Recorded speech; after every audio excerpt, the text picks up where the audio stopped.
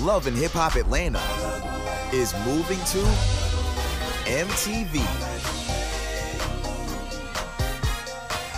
New network, new night, new Atlanta.